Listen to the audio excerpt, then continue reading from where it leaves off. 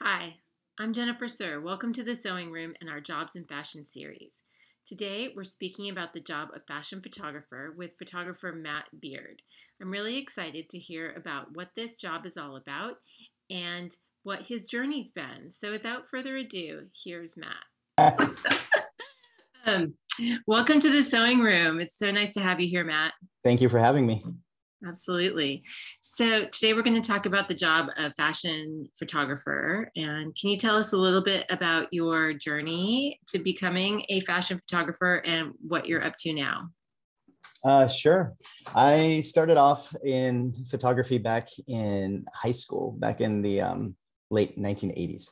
It's been quite a while. It's been a journey. Back when film was still a thing, um, pre-digital. And uh, I actually wanted to get into advertising and um, marketing first. I was uh, really wanted to make commercials and music videos and and just create silly slogans. That was my thing. That was back when I was about 19 years old. Um, so what I did was I actually had uh, moved to Colorado when I was about 19 and tried to get a job at an ad agency. And when I got to the ad agency, I only had a hand-drawn portfolio, like stick figures with ideas. And um, although they said they liked the ideas, they needed something a little bit more polished. And they suggested I go and hire a photographer and put a portfolio together and then come back and, and show them. So, uh, being 19 and broke at the time, I decided I would um, move back to LA, go to community college, and kind of refine photography, which I, I had started doing back in high school, but never really thought of it as a career.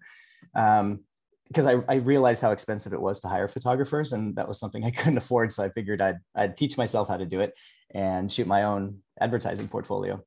Uh, started going to Santa Monica College uh, at the time because it's what I could afford. But little beknownst to me, it was actually one of the best photography schools in California at the time. It was a community college, but it was run by all working professional photographers that were kind of doing it on the side, but still worked in the industry. So they were up to date on all of the current photography trends, all the current equipment, um, techniques, everything. And they were really passionate about what they were doing because they were still doing it for a living as well as teaching. Uh, so luckily, I had really good um, education and mentors from the school. Uh, and as I was going to school, I started working as an assistant for other photographers who would come in looking for people to help. So my journey kind of took a, a hard left turn when I started assisting photographers in the industry. Um, I started realizing that the um, the job I wanted in advertising was constantly shifting. Uh, later in life, I would see the same people doing the same job I wanted to do.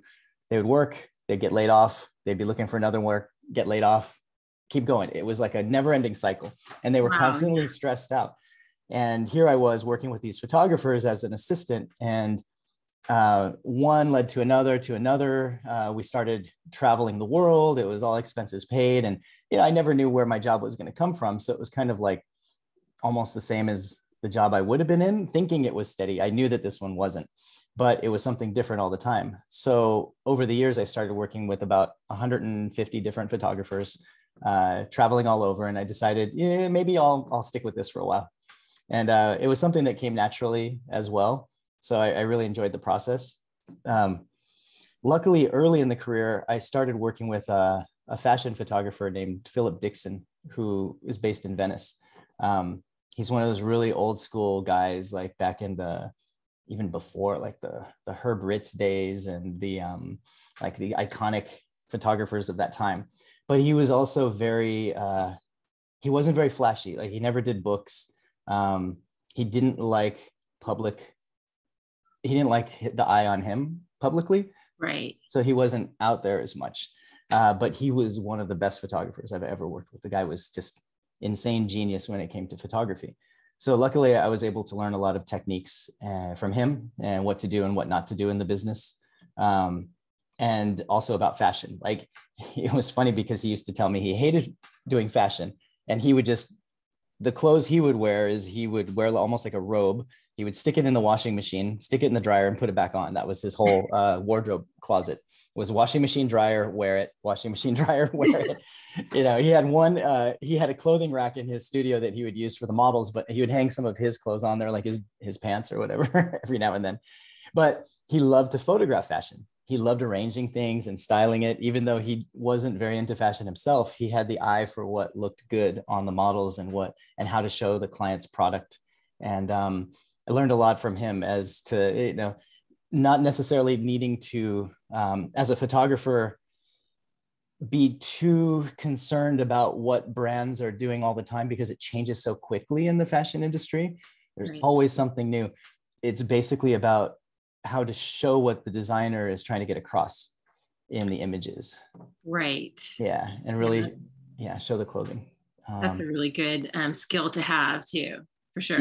Yeah, yeah, because uh, it's yeah, there's it's it's a weird process, but it's a there's an art to fashion photography. It's a lot different than a lot of other types of photography.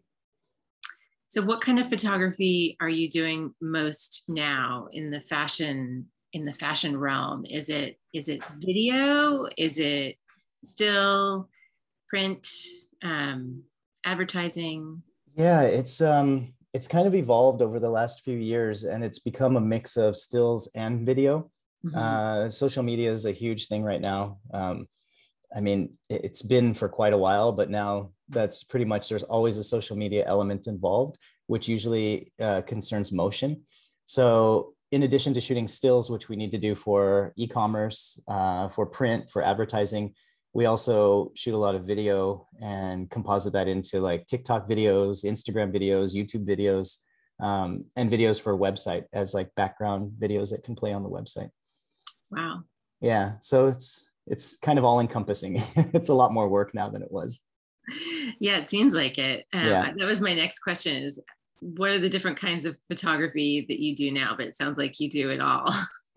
yeah. So in the fashion industry, I was working. Um, I was working for a long time with Lucky Brand, mm-hmm. and um, we were shooting everything for them. Everything from e-commerce to um, the catalog stuff to the wholesale swimwear, um, plus size kids, uh, the retail, wholesale. Um, everything pretty much and doing all of the retouching. And it, it was interesting to see how much um, how much budget and effort were put into different aspects of it. Right. Which yeah, which is kind of I, I never could quite understand that part of photography, which has always been a mystery to me that a lot less budget is put into the e-commerce side, even though that's what actually is what you see when you're clicking that buy button to purchase something online. Right. And it's 80% of most of the company sales, at least it was at Lucky when I was there. 80% of the sales were ecom, 20% were store uh, and other. But the huge budgets were put into the advertising, the campaigns that you would see, like, yeah, right. billboards, magazines, things like that, mm-hmm. which I guess would draw the people to Lucky Brand to the website. Right. It was more of a brand a brand photography as as opposed to catalog right like right. e-commerce is very specific you want to show the clothing um, so it's it's very easy to zoom in and see the different fabric and texture and the stitching and how it fits on the models as opposed to something lifestyle where sometimes i mean i remember the the old joe's jeans campaign i don't know if you ever saw those where it was basically just like it, it, they didn't shoot it nude, but it just looked like a nude profile of a woman, uh, her behind. They actually shot it in the studio that I used to manage, and they did it with like a G string and retouched everything out. But uh, yeah, that was you know was it? old jeans commercial, and I think I don't know if it was a Calvin Klein's or maybe it was Joe's. They I remember maybe it was Levi's actually. It was so long ago. They just had like a um a nude behind, and then they uh like sharpied a pocket on the back. yeah, advertising. It's a totally different um yeah. Yeah. Totally different ball of wax. Yeah, but that's where the larger budgets are and that's what most fashion photographers want to do. So they'll do a lot of editorial for magazines where they can shoot editorially and then they get picked up for the campaigns. But the the hard work for photography is really in the e-commerce side. I've seen that and that's uh it's nonstop all day long, constantly, and it's it's work. It's the grunt work for sure. And is there is there much creativity involved with that, or is it mostly just mm, sometimes? you have to find creative ways to solve problems in that side. So it's less visually creative and more technically creative to to get the workflow going. Um, we developed a process after a while with Lucky because before we came in there, they were shooting some things on white background, some things on gray, some things on beige, and when you lay everything out on a page, it looks all over the place. Is there's no consistency to it. The lighting was different. The um, the contrast between shots were different because they had different photographers shooting it. Oh right. So yeah, so once we brought everything in, we figured out kind of what looked best and what sold best. Uh, because with e-commerce, you can you can track basically what people are looking at and and what is what's more desirable to the consumer. So once they figured that part out, we said, okay, we're shooting everything on white at this point, which makes it easier. Right. Um, and shooting them in very specific angles and looks and specific models that they like that were actually it's easier to sell clothes that are on figure photographed than it is uh, lay flat right without and they figured that out because we used to do both and um, yeah, so they were able to kind of get the budgets up, get better models. Uh, we could get better lighting and, and, get it more consistent, and then develop the workflow so we would get through, you know, 80 different outfits in a day, every day. Wow, that's yeah. that's a lot. That's a lot of shooting. Oh yeah, that's quick. That's yeah. super quick. My husband's a photographer, so I I understand what yeah what so you know. is and how 80 is a lot. 80 is a lot. Uh, when we do swimwear too with um, Lunada Bay that used to design swimwear for Lucky Brand as well as a lot of other ones. Um, yeah, we've done shots up to almost 100 outfit changes in a day, but it's swimwear, so it's very fast. And it's not just one model, right? One like, one model. one model we wow. we timed this model how fast she could get changed and she was less than five seconds she could change her swimwear it was oh amazing we'd shoot her she'd run off set we'd go one 1000 two 1000 three 1000 four she's back on set ready to go and shoot again it was yeah. amazing they're they're amazing professionals actually models are oh yeah and it's much different working with a professional model than it is with someone who's not professional. Yeah yeah. Oh my god it's a huge difference. Yeah. the the irony and the funny thing was i remember asking her i said you know when you go um, she was talking about going shopping with her boyfriend at one point and i asked her i said when you go shopping with your boyfriend do you change like really quick? She's like oh no he i drive him crazy. I'm in there all day. I was like but you're so fast here. She's like yeah that's a different story. That's work. Yeah that's totally different. Different different thing when you're shopping for yourself. Yeah, um, exactly. So I've heard you say we a couple of times. How many people does it take to do what you do? Oh, it depends on the job. Um, and the way I see it, it's always a, a group effort. It's a team effort because if it's even if it's me by myself shooting, I'm shooting somebody or something. So it's never just me alone, unless I'm going out and shooting personal projects like flowers or something like that um, yeah so the majority of the time i always refer to it as we because there's always more than just myself involved. Mm-hmm. um, when i shoot for cirque du soleil which we've been doing for quite a while uh, i have a co-shooter that i work with and um, it allows us to be in two places at once because sometimes we'll only have one opportunity to shoot live performances. And in order to get the best um, variety and angles and also have a backup in case i miss something he's able to get it. Um, you know we do that um, when it comes to doing an e-commerce shoot, uh, like for Lucky, for example, it was uh, myself, a digital tech. I would have two assistants, and we had an on-site retoucher as well. In addition to that, we would have the wardrobe stylist with their assistant, makeup artist and their assistant, um, the clients, usually two of them, and sometimes like a PA. So, I mean, it it'll vary anywhere from two to twenty people on set. Wow yeah, yeah and that's not including the models. And um, when you worked for Lucky, was that like a contract job or were you on their staff? Like uh, freelance. freelance, always freelance. Yeah. Always freelance. I don't think I've ever done any contract. I have my own S corporation that I'm an employee of. Mm-hmm. So I work for my own company, um, but I'm not contracted with any other companies. It's all freelance. Cool. Um, I'm going to ask you a question and it's probably going to take you a long time to answer, or you're going to say, uh, multiple different things, but what does your typical day look like? Uh, photography in itself, I'm going to get a little bit more generalized. Um, it's usually about 90% paperwork and running around and about 10% shooting. Mm-hmm. Um, yeah, majority of it is, uh, well, I'll give you example. My last, the last job I just did, um, last Friday, I flew to, what time of day was it actually? I'm trying to think. I did an overnight flight to New York. Um, we got in, we photographed inside a, um, actually, no, it was a, it was an early morning flight, got there in the evening. Um, met up with a, a DP that I'd hired to do the video side. Uh, we were shooting for a security guard company at a um, the Barclays Center in in Brooklyn at a boxing match. Um, so we flew in, met with the clients. Uh, next morning, we went in, uh, shot all day long, left there at about one o'clock in the morning, um, packed up, and at four in the morning, I flew back to LA. And yeah, and in between, in between leaving and flying back to LA, you get a text from the client like, "Hey, did you see the news?" And turned out there was like a big, like a bunch of fights broke out, and there was somebody they thought there was a shooting in front, and everybody rushed back in and broke through the glass and came inside and mobbed the entire place. and yeah, luckily we had gotten out just before that. And yeah. it turned out to be a false alarm, but it was just wow. mass panic. Um, but yeah, it was like leave Friday, shoot Saturday, come back Sunday. Um, and some jobs are like that. So my typical day, I wake up, I make coffee, I make a list of all the things that I'm supposed to do during the day. And then suddenly I'll start getting emails and phone calls, and my list kind of gets put aside as I start answering and replying and remembering more and more things that I have to kind of take care of and finish. And then slowly through the day, I'll get through all of that. And um, that's on non shoot days.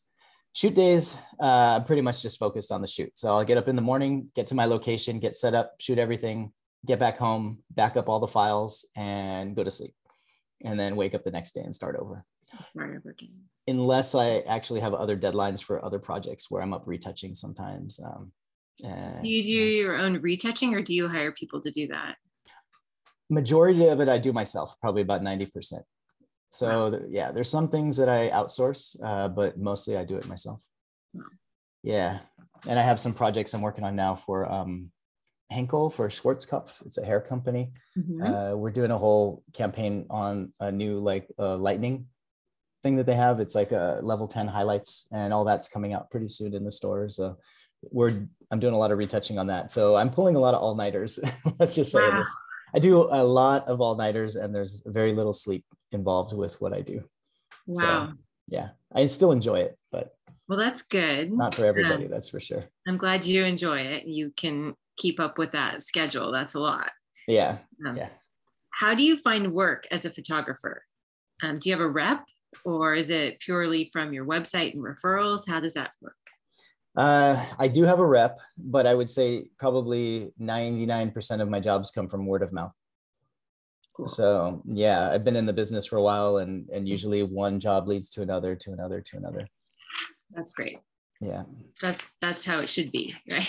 That's that's how it is usually. It's kind of um i don't want to sound too cliche but it, it's like who you know in the business but then it's also about not burning your bridges and about really you know enjoying what you do and and having a good time doing it. Then everybody enjoys it and that that shows you know. If you if you don't enjoy it what's the point? I mean what are you working for at that point? Exactly.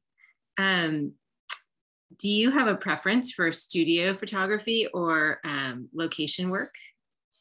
Depends if it's raining, I guess. Um, no, I like I like them both equally. Um, I've built photo studios, um, and I love being on location as well. Um, I love traveling too. So, do you have your own photo studio, or do you rent studios per shoot for whatever it is that you're working on? Uh, between 2006 and 2010, I managed a studio and then I built a studio in Hollywood. So I had my own studio space. Mm-hmm. Uh, the studio is still there. It's called, now it's called Wick Studios and it's on the corner of Sunset and Highland. And it's still available as a rental studio. Um, and it's great. It's got daylight and everything, beautiful place. But I sold my stake in it in 2010 so I could spend more time with my kids and just work from home. And just went freelance. And so now, whenever we need a space, we will either rent it or um, shoot on location. So usually we're always renting or finding a spot. Interesting. Yeah, there may be one coming up in the future soon. We'll see. I've been, I've been considering it once again, so we'll see. Okay, and finally, are there any special skills you have or have had to cultivate um, that were crucial to your success? Yeah, actually, um, aside from learning the technical side of photography, it's um, it has a lot, I think, to do with um, cultivating people skills. Um, I've been out to dinners with clients, and that we've developed a relationship over the years and become friends. And they they have asked questions to me, things like, "So, what's like what's the worst shoot you've ever been on or what's the most horrible? And when i asked them the same question i was like what is the worst shoot you've been on? And they would tell me. And it always boiled down to a personality conflict with them and the photographer. Mm-hmm. never the photographer's work because these are some of the best photographers in the world that they're talking about that they've worked with but their personalities conflict. Um, there's a lot of ego involved with it. I think especially in in fashion and sometimes i guess music somewhat? It depends. It depends on what level celebrity things like that. There's a lots of lots of ego and image and things like that that people um, become more concerned about rather than really paying attention to the people that they're working with and, and making sure that everybody's needs are met on set um, as, as, well as their own. Um, but and, and forgetting that it's a team effort to get everything done. When it becomes all about me me me and not about we um, that's when people start to get a little bit kind of turned off. And so the clients would tell me things like the photographer only wanted to do things their way. And although it looked good it wasn't what they needed because they have a boss that's telling them what they are supposed to be getting. They're saying we need to shoot horizontal. We have a layout that's like this that has to go on the website and the photographer's like no this only looks good vertical i'm only shooting vertical then they get it back they're like these are great looking vertical photos but we can't use them for what we were hired to actually do right. and it it's like they're yeah they it's it's very strange. It's unfathomable. There's like crazy stories I've heard about things like that, and also how the photographers interact with models and um, and other people. I've heard some some horror stories about certain photographers and and people that uh, yeah, it's what the whole Me Too movement was about. And these guys shouldn't be working, but they were at the time, and hopefully they're not anymore. I don't know. I, I don't really pay attention to them very much, but I remember hearing these stories, and it's just, yeah, it's yeah, it's so people skills. Definitely, you're here for professionalism, right? Oh yes, yes, yeah. please. stay professional. think, you stay working. yeah, I think I think maybe we need more classes on professionalism and how to present yourself and be be a part of a team because I don't think it's something that you you necessarily learn. Um, but it would be a good entry into any sort of job that you were getting as a sort of entry into the culture of the business you know here's how we're going to treat each other yeah you know what's interesting is um there's a gentleman named woody flowers who um he had a lot to do with the first robotics competitions uh, my my kids are inside they're in robotics right now and what he brought to the the whole tournament was the idea of gracious professionalism. Mm. And that's what they embody and they teach all the kids to practice gracious professionalism. And the way that they set up the competitions is they're actually called coopertition. So it's not people competing against each other constantly. The teams will have to switch off and work together against other teams, and then they have to switch off and work together again. So it's in their best interest to try to help the other teams as well as themselves and not to because they're going to end up working with that team eventually anyways. So gracious professionalism, it's a it's a thing that kids are being taught now that I don't think was always taught. So ah, it's a, it's a good thing. That's brilliant. Yeah. Woody Flowers, smart guy. wow. Well, Matt, thank you so much for being here today. It's been really nice talking with you and learning more about um, the job of fashion photographer and what that means. Um, so, thank you so much. Yeah, you're welcome. Thank you. Great conversation with Matt. I hope you enjoyed it as much as I did. If you're interested in learning more about our Fashion program, please visit our website at thesewingroom.com telemedia.com backslash fashion hyphen studies. And also, while you're at it, give us a thumbs up and subscribe. It really helps